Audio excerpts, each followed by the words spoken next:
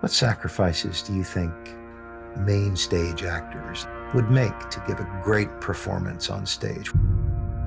Acting, as I understand it, takes an enormous toll on the mind, body, and spirit.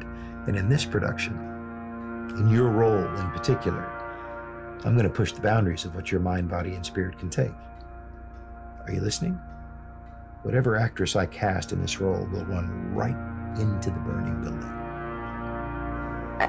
I think I'm your girl. You think. I'm your girl.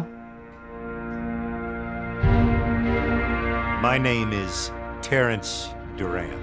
This play has never been performed in the 15 years since it was written. The moment we close this play, we're going to burn every single script, and the play will never, ever be performed again. You want to be a part of this? You'll live in this theater, rehearse in this theater for the duration of the production until the moment we close. No exit allowed. Is it safe? It's three actors in a set piece. How dangerous can it be? You're going to live in this theater for two months in a dressing room with people you don't know, in a production you know nothing about. The last girl that played Penny in Scorning Roses, she died. I thought it could only be performed once. There wasn't another production. She died during rehearsals. Goddess of theater and wine, may her blood run quick and cold to numb the pain of my works.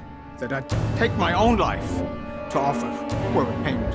I want to see your theatrical career take off, or it can die. Open the fucking door! Fear motivates people. I don't know what's real anymore. I keep having these nightmares. Ah! Somebody please! She's given us everything we have. The bell invites me.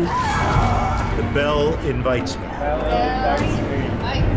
Whitney! I made my sacrifices! Am I here to die? No, Whitney.